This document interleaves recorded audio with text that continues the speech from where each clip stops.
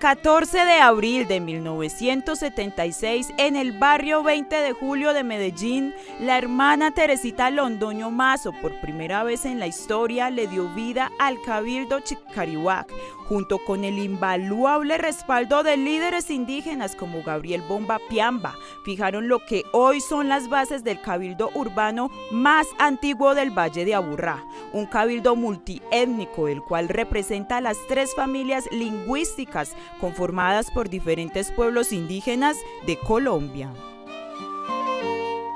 Este cabildo que se llama Chipcarihuá, el primer cabildo urbano multiétnico que se crea en Medellín, en Colombia y Latinoamérica, porque no hay otro cabildo urbano multiétnico. Hace 45 años ya había en Medellín nueve pueblos indígenas, nueve lenguas. Entonces dijimos, tenemos que acoger a estos nueve pueblos y conformar un cabildo multiétnico y por eso se llamó Chip Carihuac. ¿Qué quiere decir Chip Carihuac? Quiere decir que somos descendientes de los tres eh, pueblos lingüísticos que habían en ese momento, chipchas, caribes y arhuacos, porque nosotros somos descendientes de estos pueblos. Y se llamó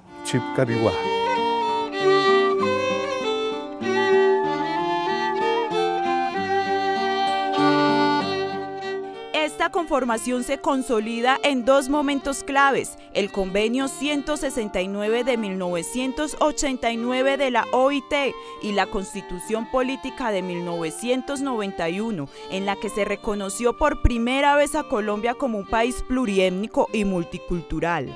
Por eso, este cabildo desde su fundación ha cobijado a indígenas de diversas etnias, entre las que están huitotos, pastos, yanaconas, piajos, ticunas, entre otros. Chipcariguá hubo un momento en que acogió a 34 pueblos indígenas, 34 lenguas, 34 regiones. Eh, se conformó, se pertenecieron a este cabildo. Los nazas, yo soy el que represento, en estos momentos somos 14 familias nazas en aquí en Medellín. Están los guambianos, que son del norte también, eh, perdón, del sur.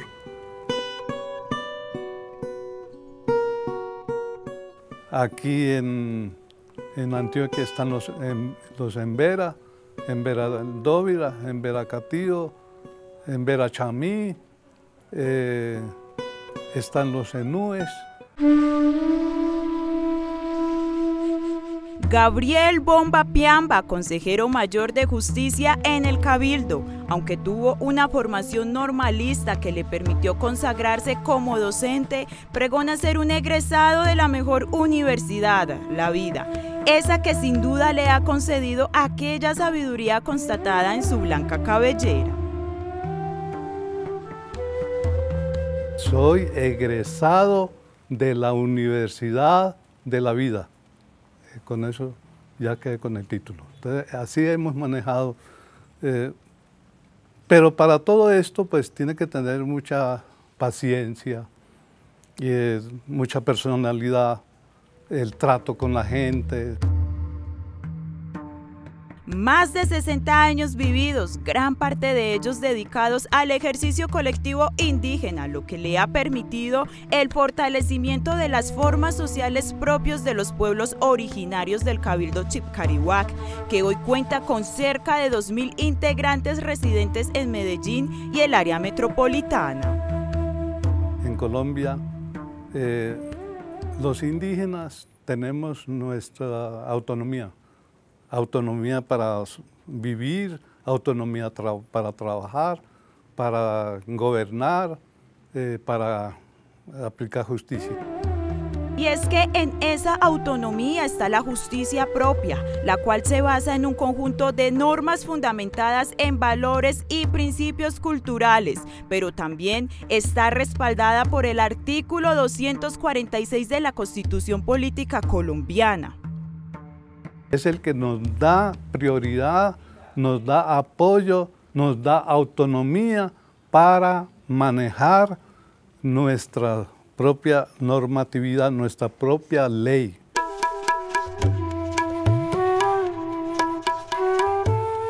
Personas como María Tamasis, alguacil mayor del Cabildo Chipcarihuac, velan para que las personas indígenas cumplan las reglas establecidas y en caso de infracción proceder con la sanción. El rol de aguacil es muy bueno porque uno ahí aprende muchas cosas y uno como persona mayor, uno es ejemplo para las personas ya menores de edad que ya están vinculándose en este grupo. El rol mío es cuidar acá cuando hay reuniones, cuando hay las marchas, eh, cuando hay alguna dificultad me gusta, me toca también colaborar, estar pendiente. Cuando detienen las personas y los metemos aquí a los calabozos, yo soy la persona que me quedo aquí cuidándolos. Cada indígena viene con diferentes eh, castigos, traen su mente en, otra, en otros castigos, entonces eh, todo no se aplica acá. Solo aquí hay un calabozo, ahí es donde se meten las personas, dependiendo lo, el error que haya cometido la persona. El bastón de mando es un símbolo del liderazgo y de la autoridad en las comunidades indígenas, características con las que esta mujer en Vera Chamí, que habita desde hace 20 años en la ciudad, cumple a cabalidad. Este bastón de mando para nosotros significa mucho, porque primeramente esto es ritualizado. Esto lo coge un jaimaná, le hace el ritual, a cada persona y nos lo entrega. Hay un ritual solamente para los guardias, que le dan como la fuerza, la fortaleza, la madre tierra de todos los ancestros que ya han fallecido.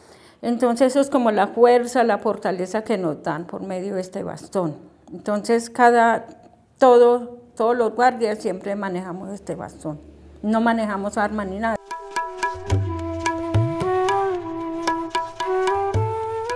Así como María Tamasis dedica sus días para afianzar las prácticas del cabildo en contexto de ciudad, también lo hace Adolfo Calderón, un indígena guayú de La Guajira, radicado en el municipio desde hace 11 años, que continúa edificando en el terreno abonado por líderes como Gabriel Bomba, siendo el actual gobernador de este cabildo urbano.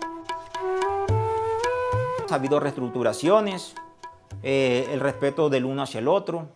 Esa es con, mi consigna como gobernador de Chicariguá, que se manejen las cosas de una manera concreta, que mantengamos una hoja de ruta clara. Y no se pierdan eso, eh, lo que son los usos y costumbres, que se mantengan nuestro, nuestra riqueza cultural, replantearse hacia el futuro, eh, la misma, las mismas tecnologías, que no se pierdan nuestros valores culturales, la lengua de los pueblos, nuestras costumbres y que mantengamos ese diálogo de una manera directa y diáfana.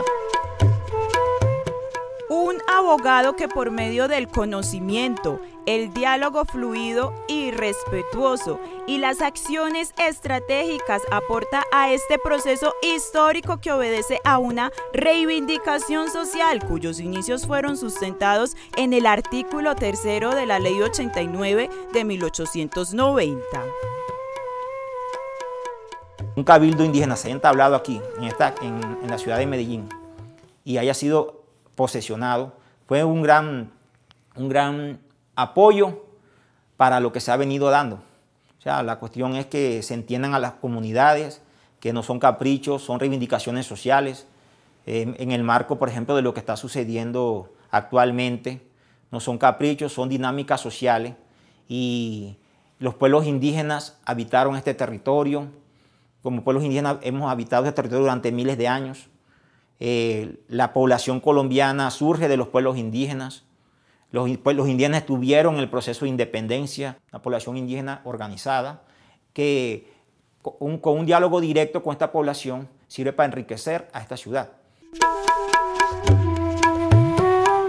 Es así como el trabajo de Bomba se ve reflejado en sus sucesores y hoy la magnífica memoria de este indígena del pueblo Nasa, en la que reposan nombres, fechas y múltiples eventualidades, posibilita que la riqueza histórica de esta población étnica permanezca vigente para que las presentes y futuras generaciones cuenten con el privilegio de conocer sus orígenes, defender y expandir este preciado legado.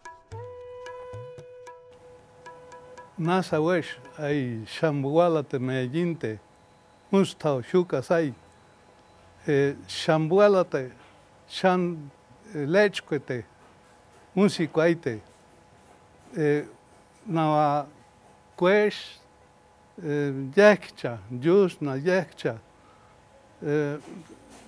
biuhwe shuka sai como luchque como piste como ui えー、就活ビュー相手、えー、な、じゃくて、えー、じゃくて、じゃくて、就活相手。